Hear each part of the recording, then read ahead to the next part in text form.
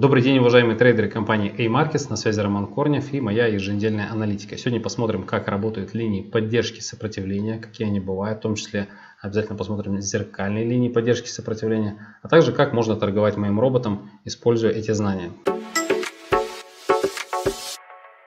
Итак, мы начнем анализ с евро-доллара. Давайте посмотрим. У него был восходящий тренд, сейчас идет коррекция.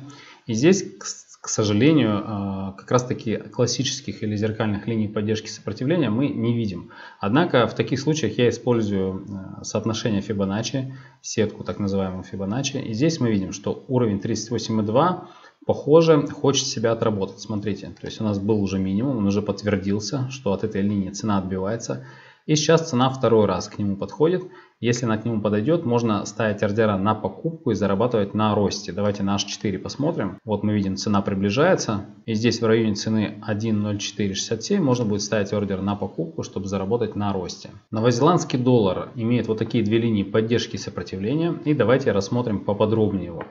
Смотрите, если цена сейчас откорректируется наверх, а, Хотя это, конечно, вот прямо сейчас она может это не сделать. Почему? Потому что доллар растет, вопреки многим, я вот смотрел там серьезных аналитиков, как бы все говорили, пророчили ослабление доллара в ближайшее время, однако вот он растет. А, поэтому вот все эти прогнозы я не верю, но я верю в разворотные точки, о которых мы сейчас поговорим. А, смотрите, если цена откорректируется в ближайшее время и дойдет до верхней линии сопротивления, от нее можно будет продавать и зарабатывать на снижение.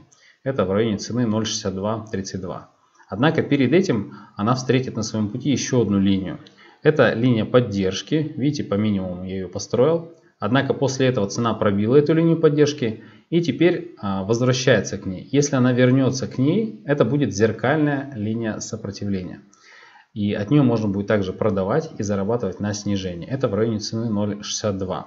А если вы торгуете моим роботом, кстати говоря, если вы, у вас счет в компании A-Markets, вы можете получить его бесплатно. Переходите по ссылке в описании а, на мой канал, вот и там а, будет указан мой телеграм. Пишите мне, я вам напишу условия, по которым можете его получить бесплатно. Так вот, мой робот работает на усреднении. Кстати, у меня есть отдельный ролик про усреднение, обязательно посмотрите. А если вы здесь поставите ордер на продажу, то второй ордер на усредняющий вы можете поставить через примерно 300 пунктов. Видите, через 300 пунктов будет вторая линия сопротивления. На тот случай, если цена здесь не отобьется или не, отобьется настолько, сколько вы хотите, то двигаясь дальше, сработает еще один ордер, а Take Profit выставится примерно вот здесь посередине. А, плюс Take Profit, который вы в него заложили. Таким образом, когда цена откорректируется, а, робот закроет обе сделки в плюс и вы на этом заработаете. Это позволит вам не сидеть перед монитором, не отслеживать это, но также рекомендую робота ставить на VPS сервер.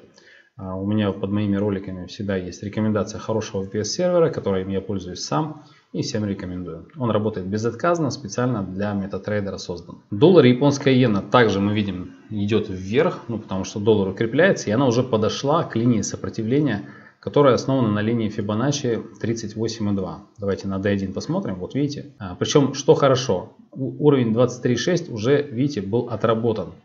Вот здесь вот, видите, цена отработала. Это значит, что высокая вероятность есть того, что другие уровни тоже будут отрабатываться. Что значит отрабатываться? Это значит, что цена дойдет до этой линии, с высокой вероятностью она от нее отобьется. Поэтому можно будет ставить ордера на продажу и зарабатывать на снижение. Ну а также э, не забывайте про ограничение рисков, да, риск-менеджмент и закрывайте сделку по стоп-лоссу, если это превышает ваш риск. Британский фунт движется к линии поддержки, основанной тоже на линии Fibonacci 38,2. Давайте посмотрим поближе.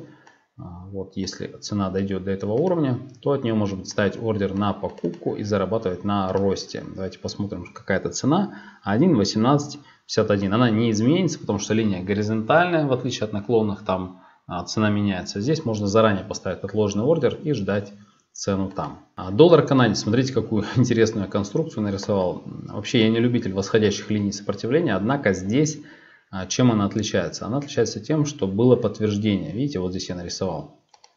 То есть сначала это была линия сопротивления, основанная на двух максимумах, затем, затем цена пробила ее, а, а затем, когда она возвращалась, она от этой линии, видите, отбилась. Это зеркальная линия поддержки, от нее цена отбилась на 155 пунктов, она отработала, и это хорошо.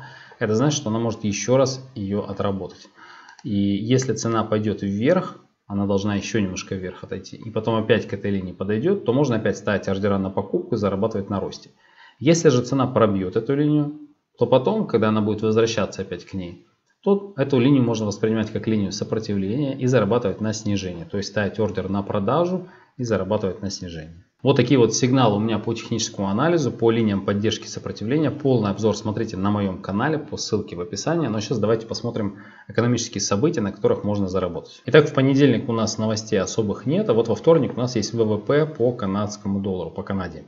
А, правда, изменения в предыдущем значении, в прогнозируемом здесь особых нет, поэтому ожидать направленного движения здесь не стоит. Но ожидать увеличения волатильности стоит, поэтому будьте внимательны. В среду будет ВВП по Австралии. Здесь изменения планируются. А, планируется повышение, поэтому это может спровоцировать укрепление австралийского доллара. В четверг стоит обратить внимание на новость индекс потребительских цен. Это традиционное отражение инфляции. Здесь будет изменение, поэтому ожидаю увеличения волатильности в 13.00 по Москве. Ну а в пятницу у нас тишина и вообще нон-фарм должен был быть, но я посмотрел, он перенесся на следующую неделю. Поэтому неделя достаточно спокойная. Это значит, что технический анализ будет хорошо работать, линии поддержки и сопротивления будут работать. Поэтому анализируйте, зарабатывайте. Обязательно подписывайтесь на мой канал, чтобы посмотреть другие видео о том, как зарабатывать на техническом анализе. Ну, а также, если у вас счет в компании A-Markets, напоминаю, что вы можете получить моего робота бесплатно. Пишите мне в Telegram, я вам расскажу как. Желаю всем успешной торговой недели, торгуйте с удовольствием. Всем пока.